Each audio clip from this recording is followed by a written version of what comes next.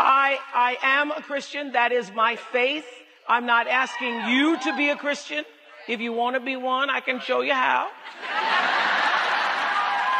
but it is not required. I have respect for all faiths, all faiths. In the realm of modern spirituality and media influence, few figures are as polarizing as Pastor Gino Jennings and Oprah Winfrey. Jennings, known for his strict adherence to biblical doctrines and fiery sermons, often targets popular culture and its deviations from traditional Christian values. Oprah Winfrey, a media mogul and spiritual influencer, promotes a more inclusive and pluralistic view of spirituality. The clash between these two figures represents a larger conflict between traditional Christian beliefs and contemporary spiritual practices. Hey man, I was looking uh, at the news and there was some excerpt played. Oprah stood up and was telling the people, I'm a Christian woman. Oh. And she said, I'm not trying to compel you to be a Christian. She said, but if you want to be one, I can tell you how. That's a lie. No, you can't. That's right. You haven't repented of your sins? I haven't repented. Not baptized in the name of Jesus Christ? That's right. Don't have the Holy Ghost speaking in tongues? That's right. And as a wealthy fornicator? Mm. Gino Jennings, the founder of the First Church of our Lord Jesus Christ, has built a reputation for his uncompromising stance on biblical teachings. His sermons often address issues of morality, doctrine, and the dangers he perceives in modern culture. Jennings' approach is rooted in a literal interpretation of the Bible, which he believes is the infallible Word of God.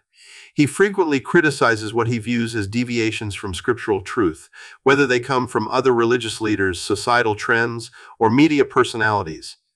Well, I am a Christian who believes that there are there are certainly many more paths to God other than Christianity. I'm a free-thinking Christian who believes in my way, but I don't believe that it's the only way. What I believe is that Jesus came to show us Christ consciousness. Oprah Winfrey, on the other hand, has used her vast media empire to explore and promote a wide range of spiritual ideas.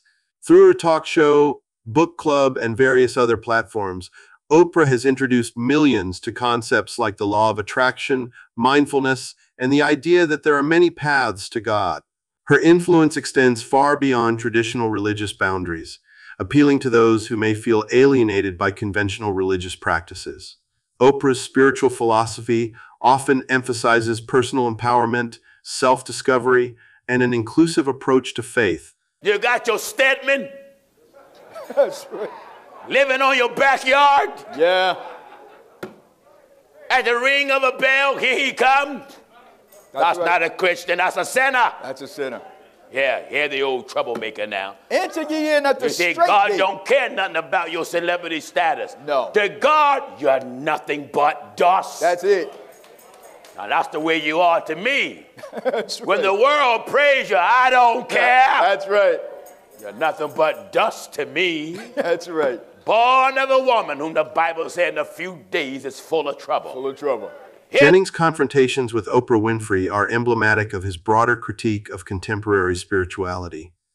He argues that Oprah's promotion of New Age ideas and religious pluralism undermines the core tenets of Christianity. Specifically, Jennings takes issue with Oprah's assertion that there are many paths to God, which contradicts the biblical teaching that Jesus Christ is the sole mediator between God and humanity. John 14, 6.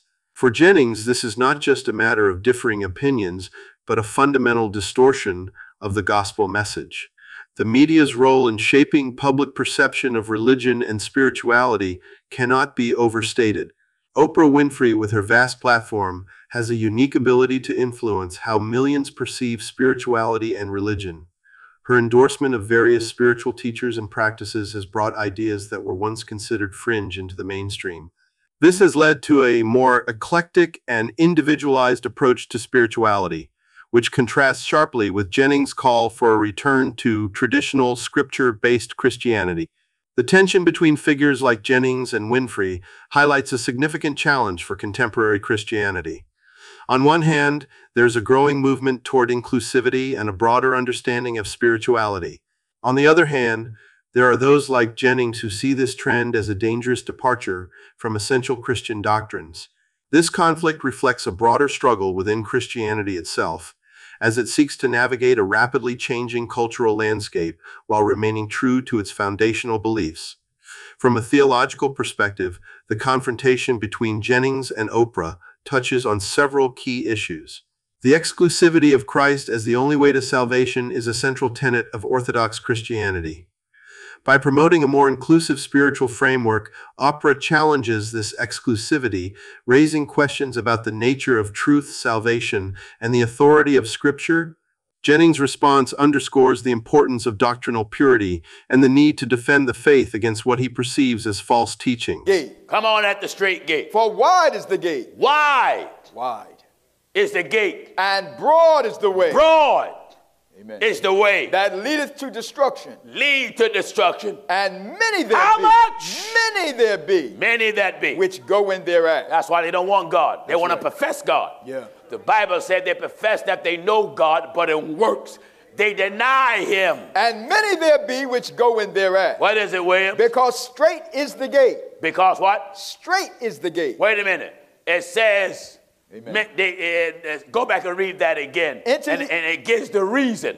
Enter ye in at the straight gate. Yes. For wide is the gate. Wide is the gate. And broad is the way. Broad is the way. That leadeth to destruction. And what? And many there be which go in thereat. So it says, Because- wait a minute. Amen. Many there be that go to destruction. That's right. And what is the reason that that happens? Because straight is the gate, and narrow is the way which leadeth unto life, and few there be that find it. That's holiness there. That's holiness. That's See, right. that's holiness. That's holiness. Only holiness make heavenly demands. That's right. The broader cultural and societal context also plays a crucial role in this debate. In an increasingly pluralistic and secular society, traditional religious views are often seen as outdated or intolerant. Oprah's message of inclusivity resonates with a culture that values diversity and individualism. Jennings' insistence on a strict interpretation of Scripture, meanwhile, can appear rigid or exclusionary to a modern audience. This cultural shift presents a significant challenge for those who, like Jennings, seek to uphold traditional Christian values. The confrontation between Gino Jennings and Oprah Winfrey is more than just a clash of personalities. It represents a deeper conflict between traditional Christian beliefs and contemporary spiritual practices. Jennings' unwavering commitment to biblical doctrine and Oprah's promotion of a more inclusive, pluralistic spirituality highlight the tensions within modern Christianity and society at large. As the cultural landscape continues to evolve, this debate will likely remain a defining issue for religious communities and individuals seeking to navigate the complex interplay between faith and modernity.